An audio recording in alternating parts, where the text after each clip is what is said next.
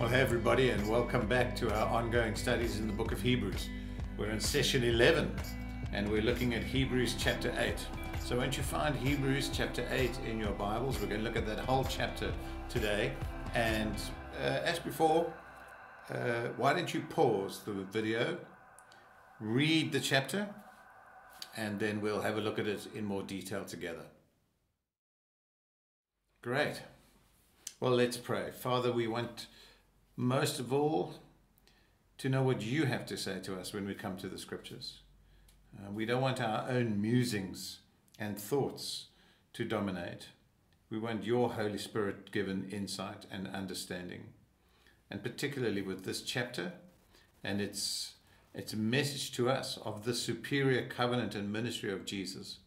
Help us to understand what that means so that we can respond rightly and live rightly by faith in the Lord Jesus. We pray in his great name. Amen. Well, uh, let's just uh, take a moment to look at the big picture of Hebrews yet again because Hebrews chapter 8 begins really a new section uh, of, of this big sermon or letter as we saw right at the beginning.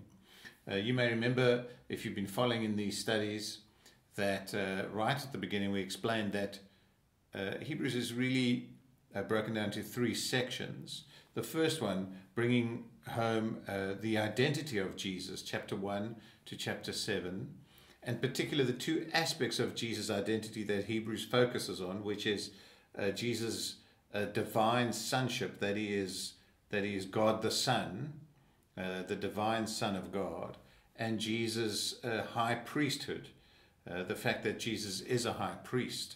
And chapter 1 to 7 unpacks that. And particularly, as we saw in chapter 7, just what kind of a high priest Jesus is.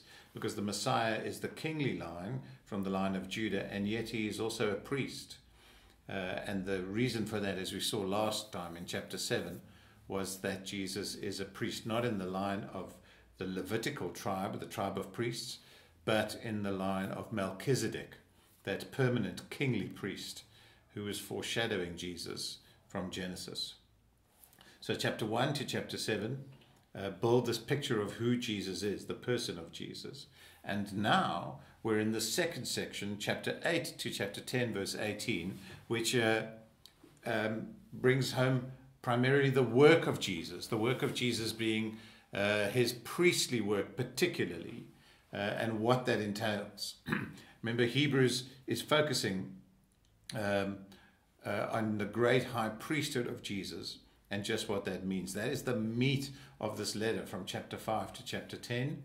And so it's quite important that we seek to understand that. And as we go on, just thirdly, there, chapter 10, uh, 18, it's actually chapter 10, 19 to 13, 25, really is um, uh, the picture of Jesus uh, uh as high priest and as our permanent sacrifice and how we respond to that by faith.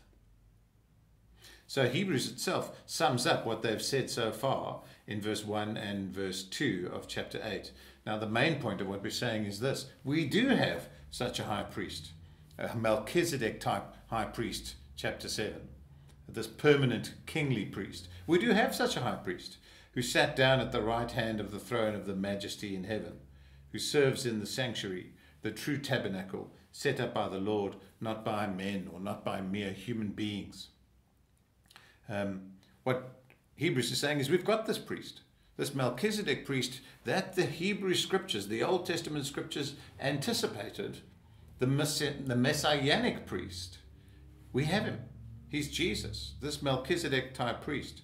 And he's done his job as the Melchizedek type priest. Remember, we saw this in chapter 1, and now we're seeing a reminder of it again here in chapter 8. He sat down at the right hand of the throne of the majesty in heaven, meaning that his work is done, and now he sits to rule. He's accomplished his priestly task.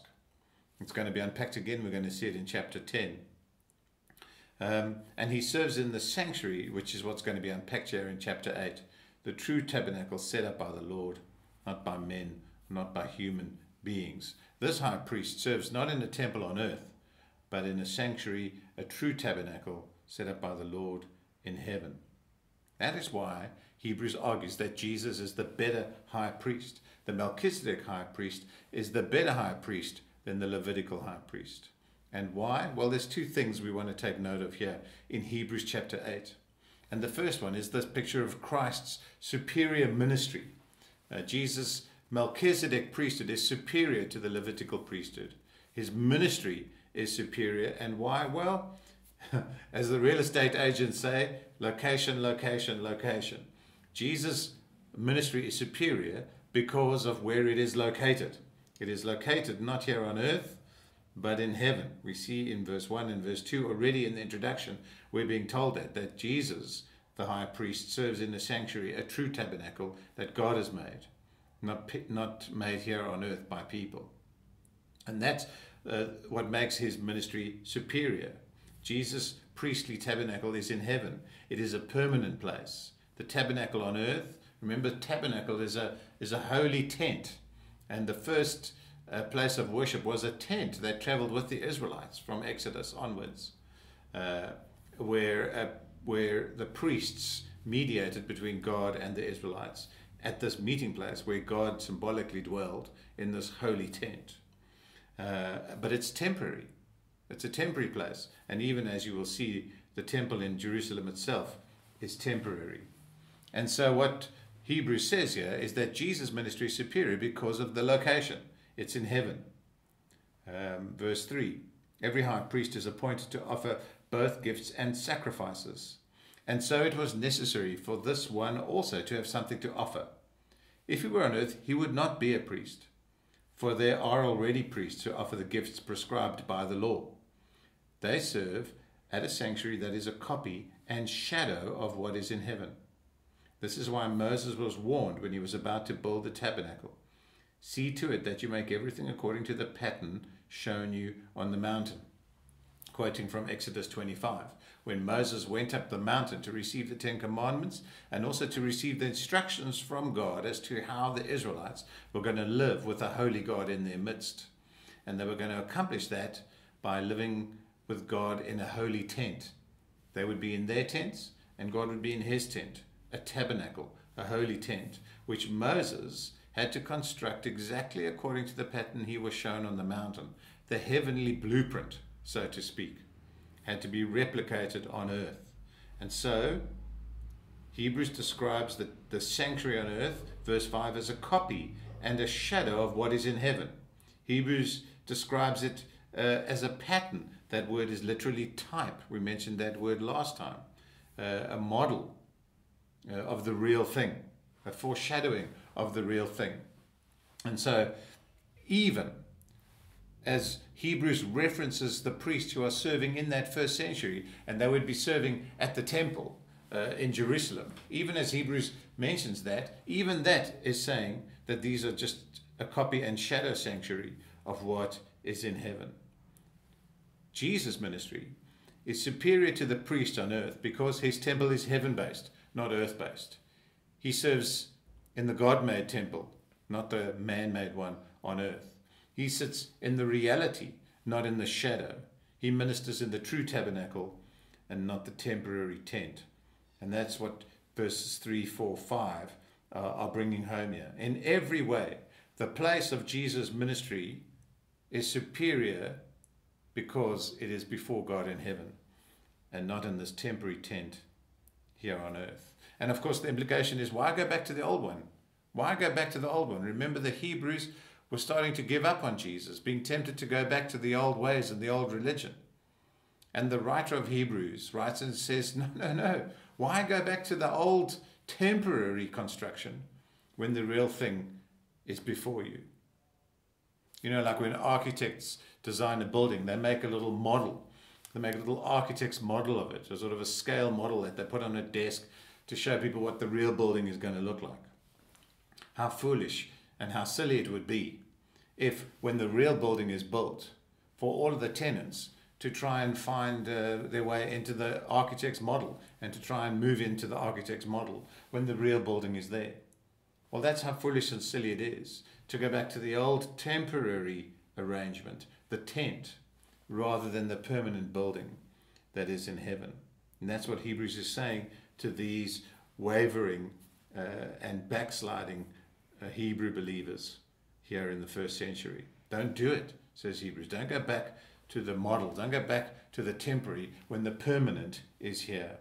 And Jesus ministers on our behalf in that permanent place, which is in heaven. And secondly, what Jesus accomplishes there is also permanent compared to the temporary that is here. And that's why verse 6 is so critical. The fact that the ministry Jesus has received is as superior to theirs as the covenant of which he is mediator is superior to the old one, since the new covenant is established on better promises.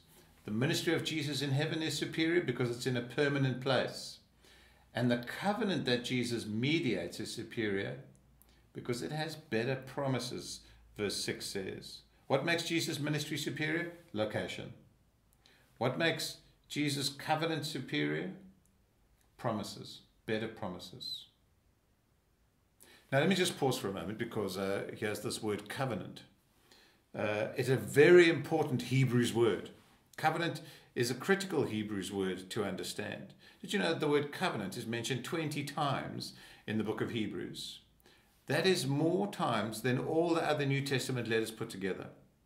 That tells us it's very important. Now, you may know some of this, but a covenant basically uh, is a binding agreement.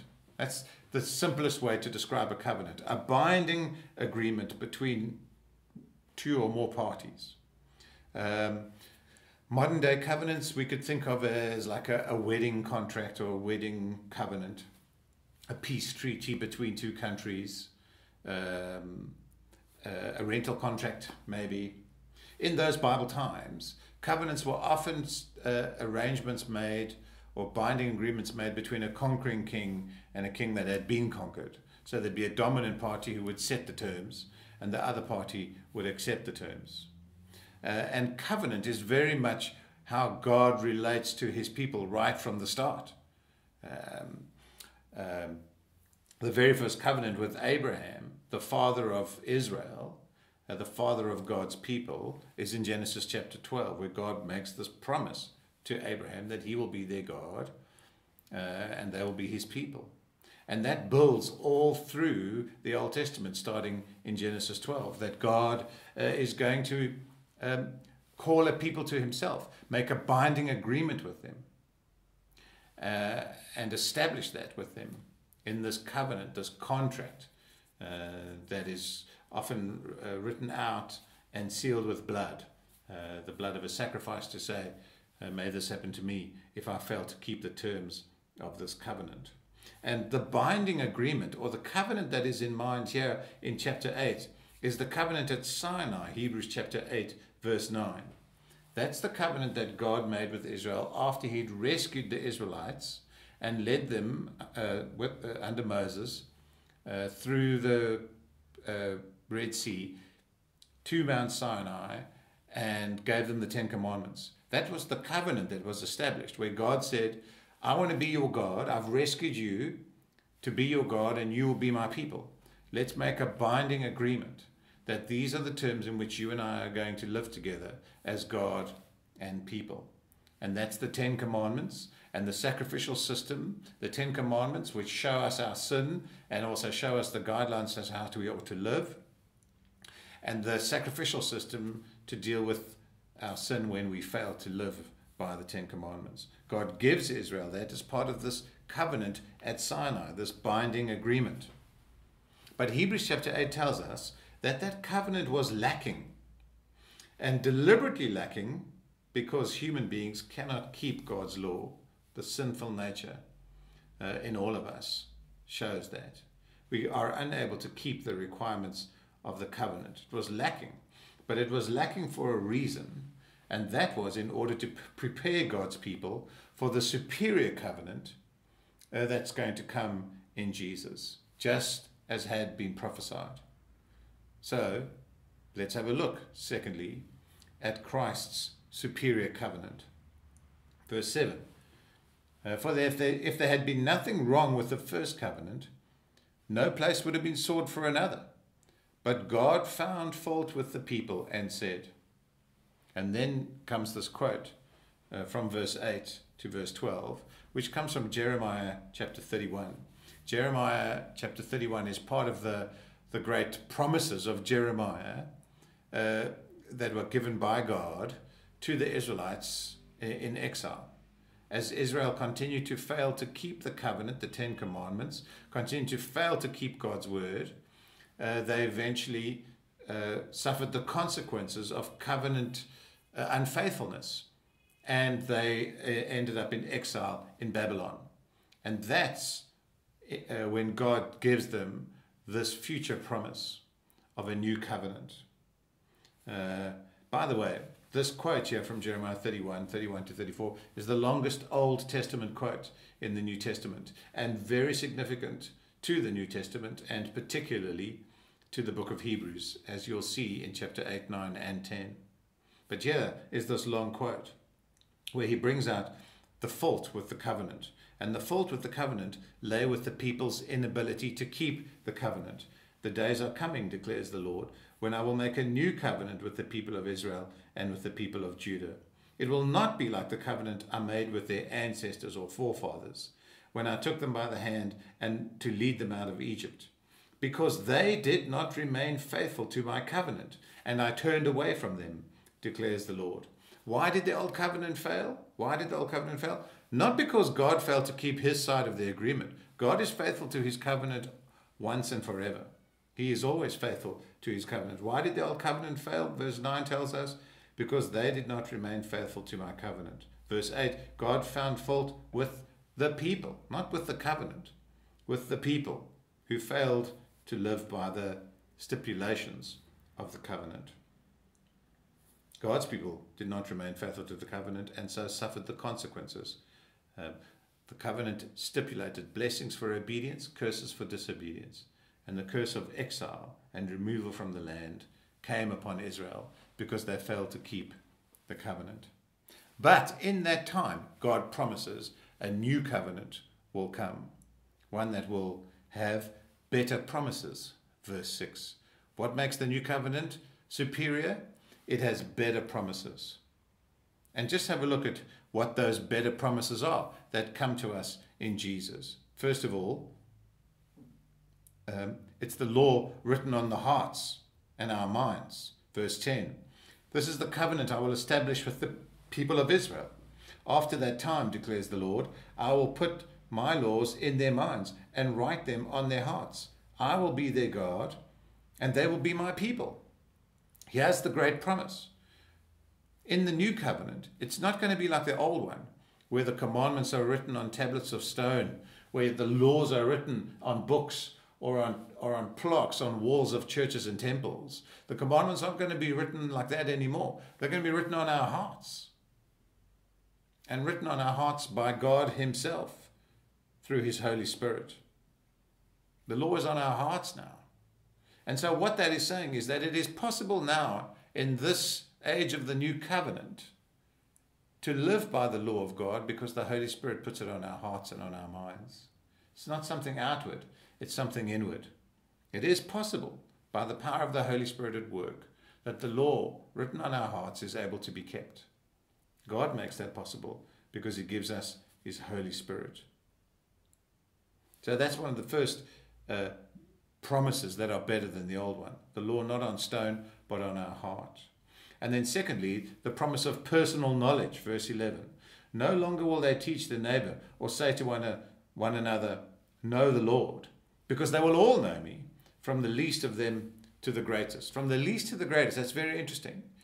Because um, in Old Testament Israel, there was this class, the priests who had to preserve God's knowledge and teach God's people and maintain the sacrificial system. That was their role. Now there was no reason, now in the new covenant, there's no reason for that. Because everyone can have personal knowledge of God. And again, that's what the Holy Spirit accomplishes. That when we come to faith in the Lord Jesus, we have personal knowledge of God. You don't need me to speak to God on your behalf, and you don't need me to speak to you on God's behalf. Sure, there are teachers who teach us God's word, but what do we teach you? That you can know God, that you can come to His word. You've got your Bible open right in front of you. You can read it, you can pray to God, you can relate to God. You don't need me to be your go between. Our go between has already accomplished that task, and that is Jesus. There's no other human being that should put themselves between you and God. It's not necessary anymore because you can know God personally through Jesus. That is an amazing thing. That is one of the great, glorious, wonderful truths of the new covenant. That Jesus has enabled us to have personal knowledge of the living God. And then, thirdly, the better promise of the new covenant is eternal forgiveness. The old covenant instructed the Israelites to come year after year, as we're going to see in chapter 9, to have their sins dealt with on the Day of Atonement. The summary of it all there is in verse 12. It is a permanent, eternal forgiveness. For I will forgive their wickedness and will remember their sins no more. This is what the new covenant brings to us as Jesus mediates it or secures it for us. Jesus secures this covenant in blood, as we are going to learn in chapter 9. In his death, in other words. Uh, this covenant is secured. And, the, and what it secures for us is forgiveness. Forgive their wickedness, says God. And remember the sins no more, forever. Your sins are forgotten forever when you are in this new covenant that Jesus has secured for you. This new covenant surpasses the old to which it was pointing because of what it accomplishes for us. These better promises are given to us. The law is written on our hearts by the Holy Spirit. It is possible for us to live by the law and to obey God and to follow Him because the Holy Spirit writes the law in our hearts and empowers us to keep it. This covenant gives us personal knowledge of God, that promise that we will know God personally you don't need any other spokesman or person to mediate or go between God for you anymore because Jesus has accomplished that already. And then this eternal forgiveness that Jesus secures for us, verse 12, which the old covenant never could. You had to keep coming back. What Jesus has accomplished for us is way better and way more superior than the Old Testament religious system that it was pointing to. And that's why the Old Covenant is now obsolete, verse 13. By calling this covenant new, he has made the first one obsolete. And what is obsolete and outdated will soon disappear. It's so interesting that he says will soon disappear because this letter was written before AD 70 when the temple was still up in Jerusalem and the priests were still serving and animals were still being sacrificed. But because Jesus has come and has accomplished the full and final sacrifice, there is no need for those animals to continue to be sacrificed. That system is obsolete and will soon disappear, which it soon did. In AD 70, Titus Vespasian invaded Jerusalem and destroyed the temple and has never been rebuilt. That didn't surprise God. It didn't upset him because he, he allowed it to happen. The temple is no longer necessary in Jerusalem because, as we will see next time, Jesus has accomplished all that that temple was pointing towards. The old covenant is now obsolete. Now, when Hebrews says that, it is not saying that the old covenant was bad. God gave it. God didn't give faulty equipment here. God gave the old covenant, but the old covenant has played its part. It has served its purposes. And God designed it like that. God designed it only to be a temporary measure until the permanent comes in Jesus. There's a bit of a trend nowadays in some groups to try and go back to all of these Old Testament practices. Uh, well, let me assure you, there is no need. There's no need to go back to the things that were pointing to the permanent. Those were temporary measures pointing to the permanent. Not wrong, not bad, but have served their purposes um, when I was a teenager, uh, my parents um, bought me a little scooter uh, to get to school and back because it was a bit inconvenient and difficult for them to try and drop all four of their children off at different schools. Um, so they got me this little scooter so that I could uh, pat, pat, pat all the way to school and back every day, which was great and it was certainly helpful. But the time came when eventually I could get a car when I was old enough and got my license and managed to get some money together and get a second-hand car. Um, when I got the second-hand car, the scooter just stayed in the garage. Was there something wrong with the scooter? No. But the scooter had served its purpose and was now obsolete for me because the car had come. And that's what Hebrews is saying here. The Old Testament is not bad. The Old Covenant is not bad. It has served its purpose in pointing you to the new covenant, in preparing you to the superior covenant that Jesus is bringing. And so the obsolete covenant falls away as the new has come in Christ. There's much to learn from in the Old Covenant because we delight in seeing how the gospel is foreshadowed all the way from Genesis. And we, we delight in learning how the gospel points to Jesus and uh, how the Old Testament points to Jesus and what we can learn from that. But we don't go back to the Old Testament and just stay in the Old Testament laws because the very thing it was pointing towards has come. The permanent has come in Jesus. Now, here's, here's the question for you and I today. We're not the Hebrews living in the first century tempted to go back to Old Testament religion. But the thing for us often is that we're tempted to go back to old ways when things get tough or things get difficult and lose sight again and again of what this gospel has brought us.